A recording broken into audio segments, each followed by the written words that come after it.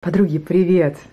Мы с вами сразу с корабля на бал и за работу. Первым делом, что мы сегодня с вами сделаем, мы должны э, еще немного поработать над списком имен для нашего будущего малыша. На этой неделе у нас имен не добавилось, но зато нам нужно кое-что убавить и несколько имен из этого списка удалить. На этой неделе мы решили э, с Арсом решительно э, расквитаться и разделаться с именем Эдвард. Его мы вычеркиваем. Ровно так же, как мы вычеркиваем Эрика. И еще мы вычеркиваем Эвана. Как вы э, можете заметить, это все имена, которые начинаются на букву «э». И на прошлой неделе я уже говорила, что я э, по своей собственной инициативе, без каких-либо обсуждений с мужем, вернула в этот список Эйден. И я решила, что имя на букву «э» должно быть одно – дабы этому имени было легче бороться со всеми остальными, поскольку я вот прям с каждой недели все больше и больше прикипаю именно к имени Эйден. И таким образом у нас остается Марсель, наш долгожитель, который э, плетется в этом списке уже с прошлой беременности и как-то не отдает свои позиции. А, следующий Грант, э, Итан, Сэм, Аарон и Эйден. Сколько получается? Раз, два, три, четыре, пять, шесть имен, которые остаются в нашем списке и продолжают э, борьбу э, за место имени нашего малыша. Так что, ох, интересно, на каком имени же мы остановимся, подружки. Вот она и я в кадре появилась. И сегодня мы с вами поговорим о 22-23 неделе моей беременности. Сегодня на момент записи этого видеоролика у нас 23 неделя и, по-моему, четвертый день, так что мы стремительно с вами движемся вперед. Э, к слову говоря, по поводу вперед, вот у нас стремительное движение также есть и в районе моего живота. И, э, коль уж такая песня, продемонстрирую вам, как выгляжу я сейчас. Получается, что у нас? 5 месяцев моей беременности, ну, в общем, 22 полных недели. И вот так выглядит живот. Насколько я помню, э, прошлую мою беременность э, на этом сроке живот был но если незначительно, то немного меньше. По крайней мере, по своей одежде я точно понимаю, что живот был меньше. Сейчас он у меня такой уже серьезный живот, поэтому мне становится все сложнее и сложнее. И на этих двух неделях я на самом деле все больше и больше ощущаю симптомы беременности и точно могу сказать, что если сравнивать а, мою первую беременность и вторую, а, то вторая, она, ну, наверное, более тяжкая. В том смысле, что а, все ощущения, которые я испытываю на этой неделе, я ощущала в третьем триместре э, прошлой своей беременности и никак не ожидала, что второй триместр, э, он будет именно таким, потому что обычно второй триместр это время, когда э, заканчиваются все тяжбы первого триместра, когда есть прилив энергии, когда мама чувствует себя, ну, насколько это возможно, хорошо. В моем случае это абсолютно не так. Эти две недели меня вот так хорошенечко ударили и по голове, и по другим частям тела, и я чувствую себя действительно э, достаточно, ну, не хочу сказать, что плохо, э, но, по крайней мере, неожиданно э, тяжело для этого срока. Конечно, до сих пор хорошее настроение после скрининга, поскольку скрининг действительно у нас прошел хорошо, с малышом все в порядке, малыш развивается, растет так, как нужно в этом сроке. Сейчас он уже близится к 500 граммам и, в общем, растет, растет, растет. Также движение его я очень хорошо ощущаю, но э, их ощущаю намного меньше, опять же, чем в первую беременность. И этому обстоятельству причина моя плацента, которая в этот раз располагается по передней стенке. Как мне на УЗИ показала моя доктор, она сказала, вот, если у тебя пупок здесь, низ живота здесь, то вот все это место практически переднее занимает плацента. И, следовательно, когда малыш шевелится, э, ты ощущаешь эти, эти шевеления намного меньше, поскольку барьером становится между твоим животом ощущениями и малышом э, твоя плацента. Хорошо то, что она э, уже поднялась вверх, и нет никаких рисков прерывания беременности, отслойки плаценты и прочих сложностей, которые с ней связаны, но здесь нужно быть очень аккуратной и не позволять РЭМу э, пинать, бить, лазить, ползать и давить на живот, поскольку если плацента располагается по передней, не задней стенке, э, то живот нужно беречь э, значительно больше. Что я, собственно, и делаю. Э, поэтому сейчас я уже задумываюсь о том, чтобы приобрести э, бандаж для беременных, и всяко поддержать свой живот, свою спину. Я очень надеюсь, что чувствовать буду себя намного лучше с этим бандажом, потому что сейчас действительно ощущения очень тяжкие. То есть у меня очень устает живот, он очень болит, шевелиться очень сложно, и тазовые кости, они также дают о себе знать каждый день болевыми ощущениями. У меня такое ощущение, что битые вот просто подавали мне по костям, вот до синяков. И каждое мое движение, каждый мой шаг, он сопровождается э, такой значительной болью именно в тазобедренных суставах и костях. А, как я уже говорила, в прошлую беременность э, эти болевые ощущения, они были явными в третьем триместре. В случае этой беременности мне уже сейчас очень тяжко вставать с кровати, садиться, двигаться, выбираться из машины, сажать ребенка и, конечно же, проводить время с ребенком. Сейчас летнее время, Рэм двухлетний ребенок, который я поняла в этом возрасте, Э, в целом мало что соображает, но ему все интересно. Поэтому он врубает вечно свою торпеду и несется вот просто куда глаза глядят. Ему вот так интересно. И я могу просто орать, кричать, его звать. Это просто бесполезно. То есть ребенок не слушает. Чем больше я э, пытаюсь его позвать и ну, как-то привлечь его внимание для того, чтобы он хотя бы остановился, уже не говоря о том, чтобы вернулся к маме во время наших прогулок, это просто бесполезно. Он это воспринимает как игру, ему вот прям очень весело, и он э, бежит еще больше. Поэтому частенько сейчас, во время наших прогулок, где бы мы ни находились, э, мне нужно постоянно быть на чеку, мне нужно быть готовым в любой момент за ним рвануть и просто вот бежать, что есть сил, а сил, как я уже сказала, нет вообще никаких. А, поэтому вот прогулки с двухлетним малышом для меня становятся все более и более а, сложными. Благо у меня есть прогулочная наша коляска и ладьи, есть большая э, коляска, э, прогулка Бугабу э, Фокс, в которых он с огромным удовольствием сидит. И также вот летом сейчас мы все чаще и чаще используем э, наш велосипед э, Дуна Лики Трайк, в котором также вот, он с большим удовольствием сидит, и это хотя бы немного спасает меня и дает мне хотя бы немножко, опять же, отдышаться и не носиться за ребенком. Что будет дальше в третьем триместре, я правда не знаю, этот вопрос на самом деле меня волнует, не потому что ребенок меня не слушает, а просто потому что это опасно. Ребенок может выбежать там, я не знаю, на проезжую часть, люди гуляют с собаками и так далее, и так далее. Следовательно, ну, здесь за ним нужно глаз да глаз. Благо есть подруги, папа и прочие люди, которые э, со мной э, гуляют, и они могут как-то перенять эту эстафету и помочь мне в попытках поймать моего мелкого. Но в целом это, конечно, очень сложно. Э, мы э, в конце июня уезжаем с ним в Ригу. Там мы большую часть времени будем проводить вдвоем, потому что бабушка наша работает. Ну, что меня успокаивает, то, что мы там будем в частном доме в закрытой территории, и, ну, как бы мне будет легче э, за ним угнаться и как-то эту территорию обезопасить, чтобы он себя не повредил. Но в общем и в целом, эх, мне кажется, вот последний триместр, последние месяцы моей беременности, они будут очень большим э, приключением и большим таким вызовом для меня, именно вот с точки зрения ощущений и э, времяпрепровождения с э, двухлетним ребенком. И также внезапно в эти две недели меня начала беспокоить моя левая нога.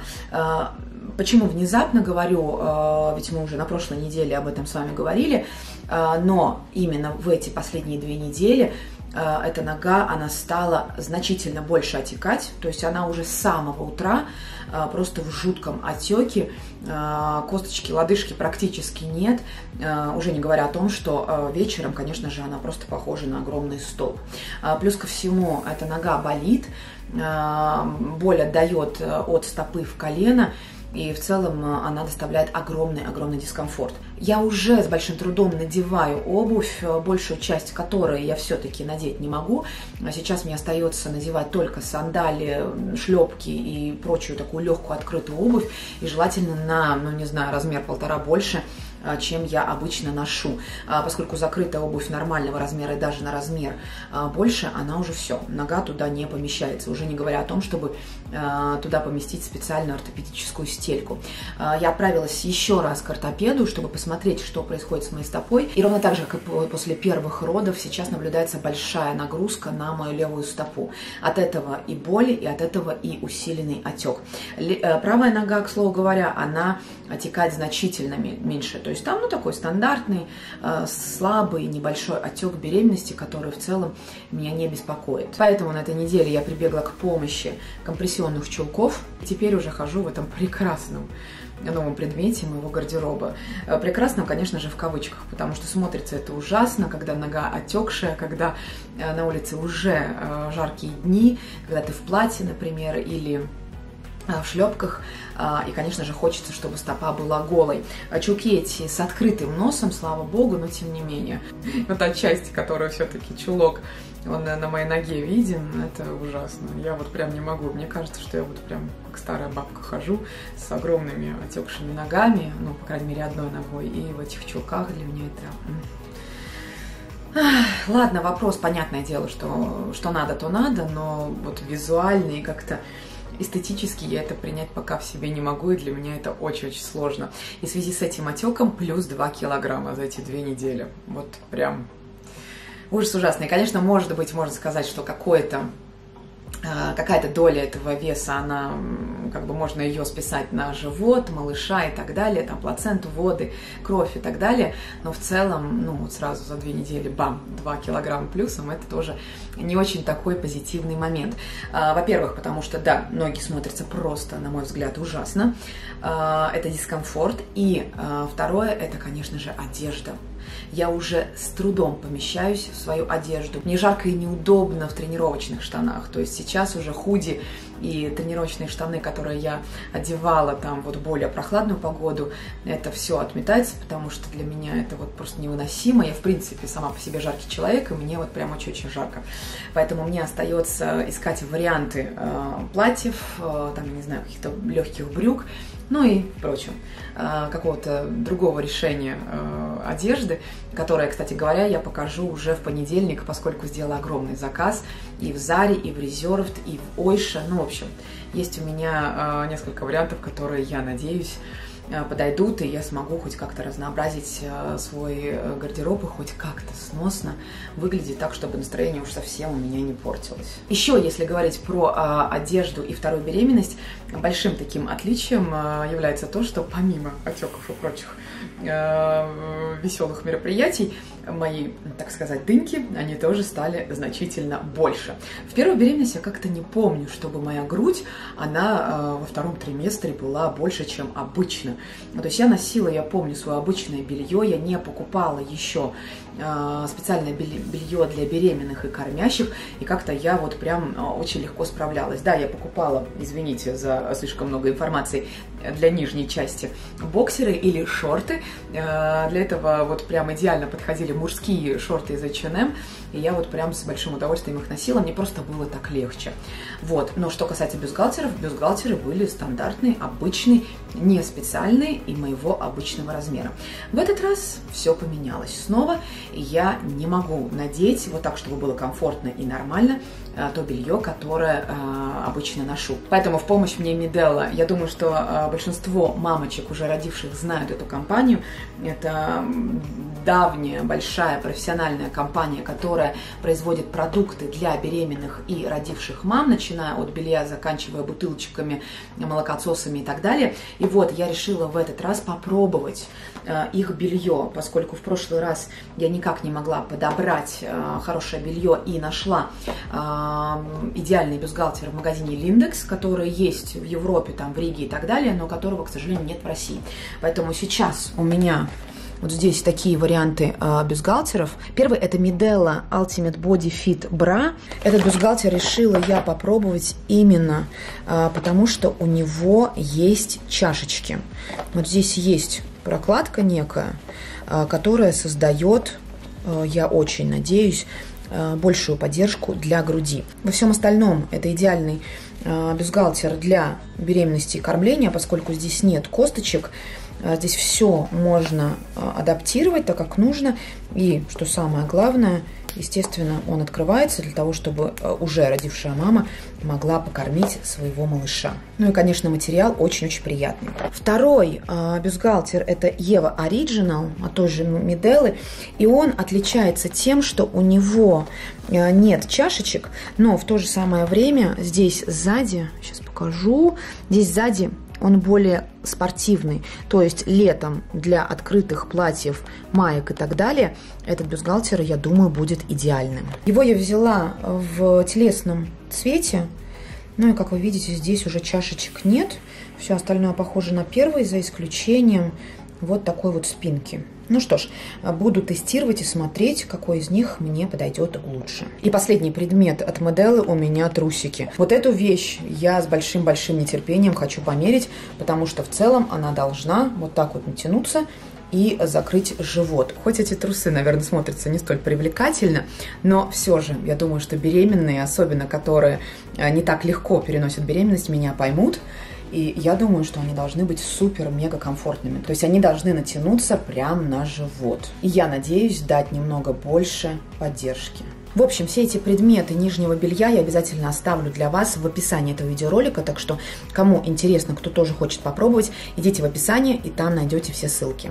Ну и последнее такое характерное этим двум неделям, это, конечно же, мой беременный мозг я поняла, что все, я уже ничего не помню, я все забываю. Благо есть звонки э, накануне визитов э, к доктору, э, когда тебе напоминают о том, что у тебя вот запись во столько-то, во столько-то, тогда-то, тогда-то. И я просто каждый раз с большим удивлением говорю, а, да, окей, ладно, все, обязательно буду. я понимаю, что мне нужно очень четко планировать э, свой день, свое время для того, чтобы успеть и ничего не пропустить. Тут мне на помощь пришли мои подруги из детская пресс. А, если помните, это компания, в которой я уже неоднократно заказывала а, печать наших э, семейных фотоальбомов. И помимо фотоальбомов у них есть календарь для беременных. И тут девчонки мне сказали, слушай, раз уж мозг объявил об эвакуации и в целом не планирует участвовать в процессе, то мы тебе в этом поможем, потому что у нас есть идеальная вещь. Это календарь Э, беременности, в котором можно, помимо возможности вклеивать фотографии УЗИ, фотографии живота, делать разные пометки и, конечно же, можно планировать свою беременность вот прям по триместрам. Здесь можно записывать заметки, как я себя чувствую. То есть это, кстати говоря, мне сильно поможет тоже в записи этих видеоотчетов. Можно планировать визиты к доктору, записывать его рекомендации, как я уже говорила, вклеивать снимки УЗИ, писать там какие-то свои пометки по поводу наблюдений, что в какую неделю происходит. И также, что для меня очень круто, здесь есть отдельные странички и разделы со списками того, что нужно сделать или того, что нужно купить для беременности мамы, малыша и так далее. Ну и вот сейчас, будучи уже на втором триместре, я уже вот как-то начала им пользоваться, начала записывать и ежедневно в него заглядываю, чтобы уж точно ничего не пропустить. Так что, подружки, кто ищет классный календарь беременности, детская пресс, запоминайте также э, в описании этого видеоролика оставлю для вас э, ссылочку на эту вещь. Ну и вот, подруги, это самые главные события моих двух последних недель беременности. Рассказала вам о том, как я себя чувствую. Опять же, на следующей неделе не пропускайте э, видеоролик в понедельник на моем канале с примеркой э, одежды, которую я заказала вот, во вторую свою беременность. И будем надеяться, держать кулачки, а, что э, звезды сойдутся, все у меня получится, и действительно эти вещи мне подойдут, и я смогу хотя бы немножечко вздохнуть, и в эти жаркие дни хоть как-то, ну не знаю, ну, быть собой немного более довольна, э, когда действительно тяжело, некомфортно, когда нога болит, все отекает, живот тяжелый, и мне нужно носиться и бегать за своим э, старшим малышом. По поводу всего этого, конечно же, мы будем с вами говорить на следующей неделе. Но на сегодня я с вами прощаюсь, желаю доброго дня и до следующего моего видеоролика. Пока!